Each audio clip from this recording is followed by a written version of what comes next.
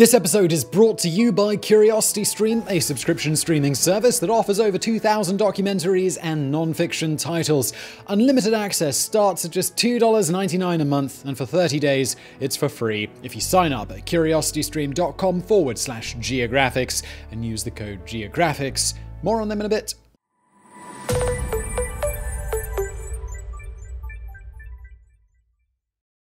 Easter Islands, Chile. A tiny speck of land covering 63 square miles, that's 163 square kilometers, inhabited by less than 8,000 people, almost invisible amidst the vast sprawl of the Pacific Ocean. Possibly the most remote island on the planet, it's a full 2,300 miles west of South America and 1,100 miles from the nearest island. Yes, this apparently insignificant grain of sand is home to one of the most fascinating cultures in the world, one that never ceases to raise questions of its people its art, and its customs. Welcome to today's Geographics, because it's time to offer some answers about Easter Island.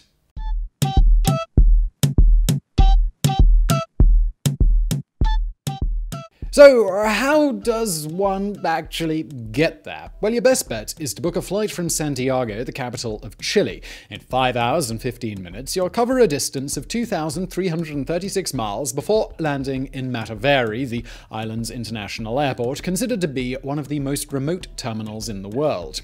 Easter Islands is today a major tourist destination, but this only became possible after the mid 1970s when regular flights were established to and from mainland Chile. Before that, Mataveri's single airstrip was permanently booked by NASA as an abort site for space shuttles. In other words, if something went wrong after takeoff, crews could stage an emergency landing there, not that it was ever actually used for that purpose. Leaving the main town Hanga Roa to the south, visitors can reach the Ana Kai Tangata Cave, famous for its fading paintings of ships and sacred birds. Ana Kai Tangata loosely translates into Cave Eat Man. Such a name could be interpreted in a reassuring way cave where men eat, or it could be interpreted more worryingly as the cave that literally eats men. Or even worse, it could be the cave where men are eaten. So, did cannibalism take place on Easter Island? Well, according to some researchers, yes, as a consequence of warfare and famines. But I'll get to those theories a little bit later. From Ana Kai Tangata, you can climb to the Rano Kau crater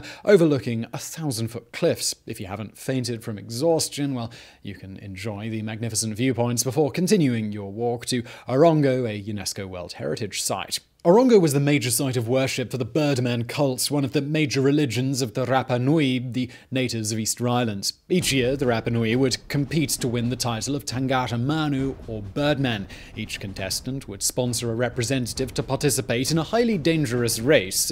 Imagine an Ironman triathlon minus the bicycle and plus a constant risk of death. These representatives had to first scale the dangerous face of the Rano Kau cliff, then swim shark-infested waters to the small island of Motu Nui. There, they had to find an egg of a sooty tern, a rare and elusive breed of bird. The first to find an egg for their sponsor was declared the winner and crowned Tangata Manu for the span of one year. That gave the victor and their clan all the benefits of a god, which included living in a luxury hut for 12 months, doing nothing but eating and sleeping. A year of leisure sounds pretty good, considering that the winner had just risked his life several times over. Competitors could have fallen down a cliff, been mauled by a shark, or just drowned. The next stop on our tour of this island is the so-called Navel of the World, a phrase sometimes used to describe the island itself. The navel is a large round boulder in the center of a rock perimeter, so, well, what's the big deal? Well, this mysterious rock is believed to have traveled to the island with its first king, Hotu Matua, and according to legend, all life in the world sprang from it. Legends aside, the rock does display the strange power to send compasses into confusion, most likely due to the presence of polarized metals within it. Another celebrated stone on the island is Pu o Hiro, or Trumpet of Hiro, a rain deity. The Rapa Nui would blow into the natural hole at the top of the stone, and this created a loud trumpeting sound. The sound was used to summon a gathering, for example, and it was even believed to attract fish to swim up to the shoreline. As I mentioned earlier, and will do again over this episode, Easter Island has an intense history of warfare, and Pu o Hiro was a valued trophy paraded around the island by whichever victorious faction could get a hold of it. Okay, so that quick tour should be enough for an archaeology fix. As you travel back to Mata Mataveri Airport, though, you might have this nagging feeling that there was something else worth seeing on this island. So, what could that be? Well, I'm going to tell you all about that in just a moment after I've talked about today's fantastic sponsor, CuriosityStream. CuriosityStream is a subscription streaming service that offers over 2,000 documentaries and non fiction titles from some of the world's best filmmakers, including exclusive originals. If you're enjoying this video, why not, once you're done here, pop over to CuriosityStream and try out for free a series called A Curious World. It's a series of short videos, and one of them focuses on ancient builders, so it's worth a watch if you're enjoying this video. But that is just one example of a wealth of great content that CuriosityStream have on their platform. It's available on loads of different platforms. There's a web app, uh, Roku, Smart TV, iOS, Chromecast, Amazon Fire, PS4, whatever, Amazon Kindle.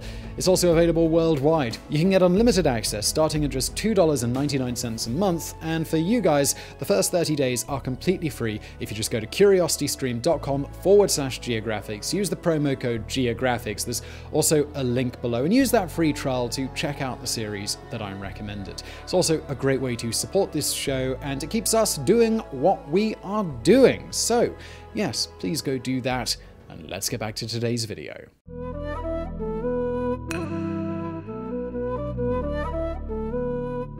So, before the break, I mentioned there might be something we're forgetting. And yes, that would be the massive giant heads made of stone. So, yes, let's talk about these things that have made the island famous all over the world. There are almost a thousand of these fascinating statues standing like faithful sentinels against the cruel indifference of nature and time. The moai are monoliths, in other words, they are carved from a single piece of volcanic stone originating from the solidified ashes that were spewed out of the crater of the Rano Raraku. Most of these statues weigh around 20 tons and they stand at 20 feet or 6 meters tall, but these are just averages, of course. One of them, nicknamed El Gigante, the Giant, may weigh up to 182 metric tons. That's the same as two Boeing 737s, including passengers. This giant would have stood at 72 feet, that's almost 20 meters, if it had stood at all. El Gigante was left unfinished and was discovered laying by a quarry at Rano Raraku. And this is the right time to raise the right questions. Who built the Moai? How did they achieve such a feat? Why did they do it? And also, we gotta ask how did they move these gigantic monoliths from the quarry to their final locations?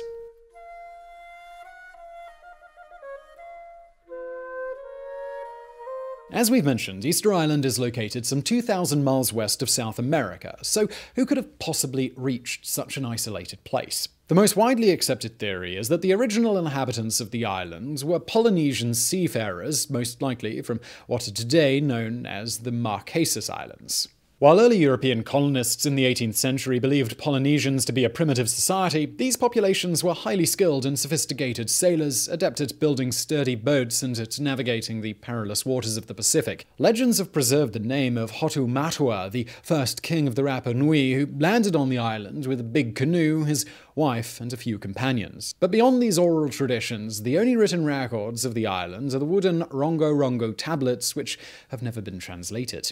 So scholars still disagree on exactly why the first Polynesians arrived on Easter Island and when, with estimates varying between the 4th and 13th century CE. Now, while most scholars agreed that the Rapa Nui descended from the settlers of Polynesian origin, some others suggest that a second migration may have originated from Inca dominated regions in South America. One of them is celebrated Norwegian anthropologist Thor Heyerdahl. The first piece of evidence is the fact that the Rapa Nui used to farm and eat yams or sweet potatoes, which are common in South America, but are believed to be endemic to neither Easter Islands nor Polynesia. You can also add to that the Rongo Rongo tablets. While this script has never been deciphered, Heyerdahl found evidence of a similarly styled script around Lake Titicaca in the Andes Range. Heyerdahl also led the famous expedition of the Kon-Tiki, a balsa woodcraft with which he crossed the Pacific in 1947 from South America to Polynesia. Other researchers have disputed these claims. DNA analysis of skeletal remains on the island shows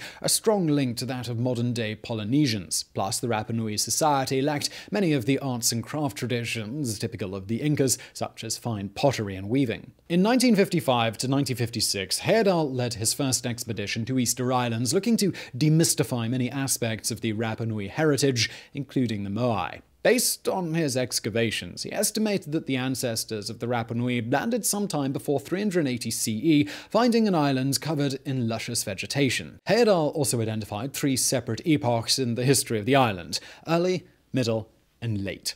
In the early period, the Rapa Nui did not engage in carving the giant statues. They devoted their engineering skill to erecting altar-like platforms made of large stones, cut and joined together in a very precise fashion. These altars, called ahu, had their fronts facing towards the ocean, and more strikingly, they were astronomically oriented. The Rapa Nui stonemasons must have been highly specialized, as they were able to align these platforms with the annual movements of the sun. It was during the second period that the Rapa Nui we began to quarry, carve, and place the moai on the altars or platforms. The second period lasted roughly from the year 1100 to 1680, the year in which, according to Heyerdahl, the construction of the super moai El Gigante was suddenly abandoned. The beginning of the late period was marked by the sudden end of all carving work in the quarries under the Rano Raraku volcano. Heyerdahl and his team surmised that after 1680, many of the moai were toppled over, only one of the signs of warfare and destruction that they were about to dig out. The evidence points to the hypothesis that the island society had undergone a period of rebellion, famine, civil war, or all of the above, or indeed none of the above. Sorry to confuse you, but you see, unlike the Moai, the history of the island is not set in stone, and archaeologists and historians are still divided on what may have caused the decline and almost total collapse of the Rapa Nui natives. But I'll go on to those theories a bit later. I promise, but for now, let's stick with the most widely accepted narrative. Little more than 40 years after El Gigante was abandoned, on Easter Day 1722, Dutch sailor Jacob Roggeveen arrived on the island, the first European to make contact with the Rapa Nui. While Heyerdahl had found evidence of a society numbering 10 to 15,000 inhabitants thriving on a fertile and verdant landscape, Roggeveen found a completely different situation. The island was almost completely devoid of trees, and arable land was scarce. The island population had dwindled to approximately 3,000 people. Along the way, something had clearly gone very wrong. For several decades, the inhabitants of Easter Islands were largely left alone, having occasional contact with European ships, but in general they were spared the ravages of unchecked colonialism. Well, at least they were for a while. In December of 1862, eight Peruvian ships landed and captured some 1,000 Easter Islanders, including the king, his son, and the ritual priests. The fact that the priests were taken may indicate that there was no longer anyone left to teach the religious customs and conduct their ceremonies. The captured islanders were sold into slavery in Peru. 90% of the Rapa Nui died within one or two years of capture. In 1865, the Bishop of Tahiti denounced the abominable practice, and the embarrassed Peruvian government rounded up the few survivors in order to return them. But smallpox broke out on the ship returning to Easter Island, and only 15 of the freed slaves survived the voyage. The resulting smallpox epidemic nearly wiped out the remaining population. 1868 saw the entire social order of Easter Island collapse, the population declining into just the hundreds. Many of them accepted an offer to relocate to Tahiti. When Chile annexed Easter Island in 1888, only 110 impoverished and disheartened inhabitants remained. Now, before I move on to the reasons behind the collapse, allow me once more to stop and take a look at the Moai. Heyerdahl's team, who had established links between Andean populations and the Rapa Nui, suggested that the tradition of the stone idols was introduced by an Incan migratory wave. These Incas simply introduced a style of sculpture similar to the one already in use back home. As I've mentioned, not everybody subscribes to the Inca theory, and more recent approaches suggest that instead the cult of the Moai was developed in a completely indigenous fashion. During the second period of the Rapa Nui presence on the islands, the inhabitants had split into several clans that were often in competition, if not in open conflicts, with each other. What unified the island residents was a shared religious belief centered around the cult of ancestors, ancestors whose likeness was celebrated in the carving of statues, which became larger, more refined, and more sophisticated over time.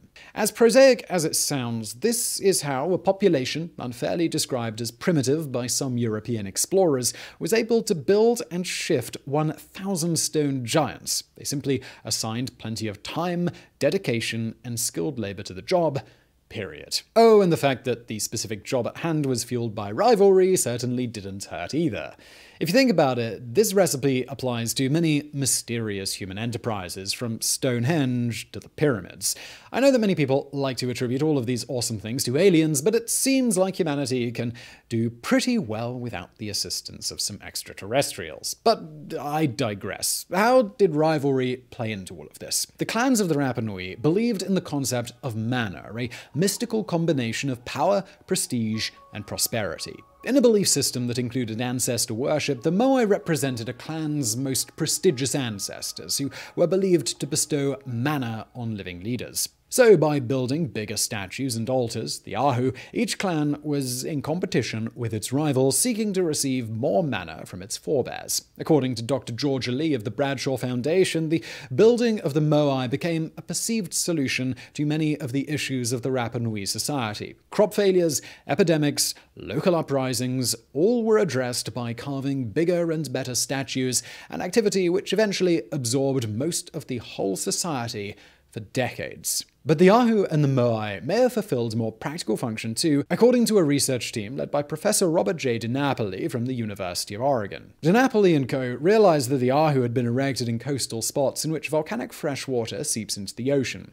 Their findings suggest that the Rapa Nui monuments were actually used by clans to signal the presence of a precious resource such as fresh water and to assert their control over it. The professor, however, does not entirely disregard the ceremonial value, and his paper mentions mentions that the statues may have served two simultaneous purposes, one being functional and one being cultural. Many of the moai were adorned with red stone crowns called pukao. These were not carved from the main quarry, Rano Raraku, but were from a different location, Puna Pau. It appears that the pukao indicated special status, red being a sacred color both to Eastern Islanders and Polynesians. Either crowned or bareheaded, many of the moai were placed upon the ahu platform and then were activated by having their eyes opened. More precisely, the shape of their eyes had already been carved at the main quarry, and these sockets were then filled with inlaid eyes made of coral and red stone for the pupils. According to popular belief, all moai were placed facing the sea as if keeping watch for the arrival or the return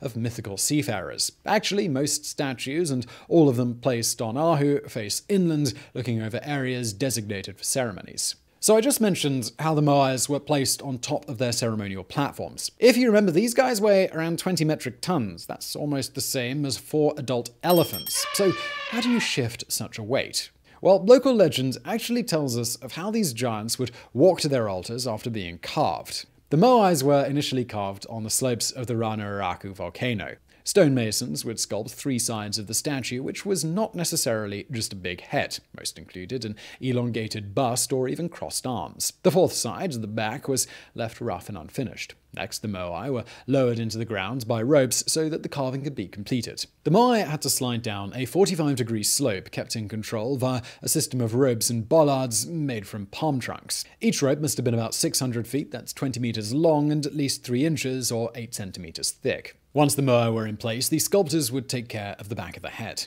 Next, the moai had to travel to its final resting place, sometimes as far away as 15 miles. The initial theory was the Rapa Nui used wooden rollers. However, research done by Professor Charles Love proved that the roads and paths used by the Rapa Nui were not level, but slightly concave, which means that rollers would have got stuck or even cracked under the pressure of the statues. Our good old friend Heyerdahl may have found the solution to this puzzle too when he returned to Easter Island in 1986. With the help of Czech engineer Pavel Pavel and a group of 16 local residents, Heyerdahl made an attempt to move a standing moai by pulling it with ropes attached to the statue's head and base. And this worked. With some muscle, ingenuity, coordination, and concerted effort, 18 guys made the statue bob along, or walk, in accordance with the legends, and all without much difficulty. So, well, I guess we've at least solved that mystery.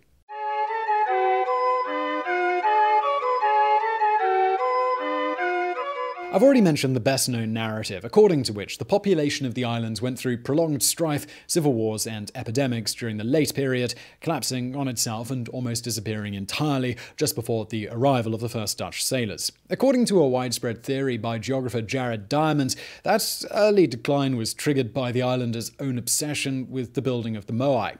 At its peak, Moai carving was a fully fledged industry, mobilizing almost the entire population. Shifting the Moai, therefore, required the locals to cut down all of the palm trees on the island, either to use as wooden rollers or to produce ropes. The deforestation, in turn, left the soil exposed to erosion caused by the wind and other elements. The next consequence was crop failure, and when crops fail, societies collapse.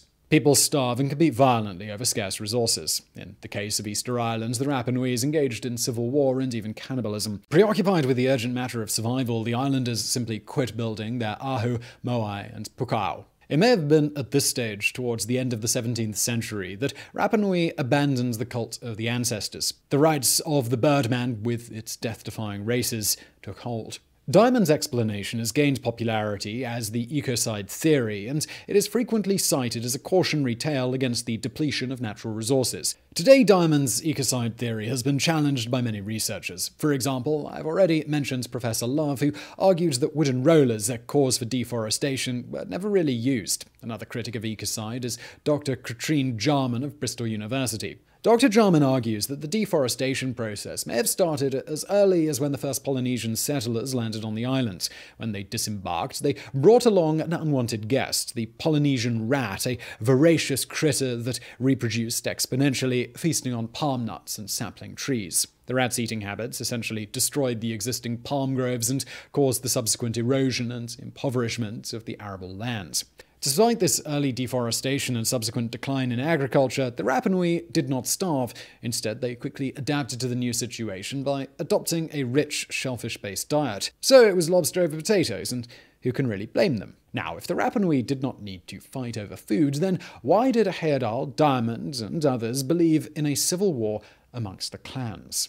They cite the finding of obsidian weapons as evidence, but they may have misinterpreted their intended use. Professor Carl Lipo argues that these artifacts were domestic tools or ritual implements. He also showed that only 2.5% of human remains on the island displayed evidence of any injuries, and most of them were non fatal. So, to recap, there was no ecocide. The deforestation was a long process to which the Rapa Nui adapted efficiently. There was no civil war, and there was certainly no cannibalism. So, why did so many natives die? What caused such an original and unique civilization to almost fade into extinction? Well, I've already given you the answer. Remember the slaver raids and the epidemics of the 19th century? According to previous theories, these calamities hit the island when its population had already been severely reduced by other factors. But according to the new timeline of events proposed by the likes of Jarman and Lipo, slavers were the true main culprits behind the massive demographic decline of the Rapa Nui. Less of a case of suicide then, and more of a case of kidnapping and murder. So I hope I've given you some food for thought about Easter Island, one of the most recognizable yet least understood destinations on Earth. Before I take my leave, let me ask you, what explanation do you find more believable? Ecocide or slavery and disease? And if you did enjoy this video, please do give it a thumbs up below. Don't forget to subscribe for brand new videos twice a week. And do check out our fantastic sponsor, CuriosityStream, link below. And thank you for watching.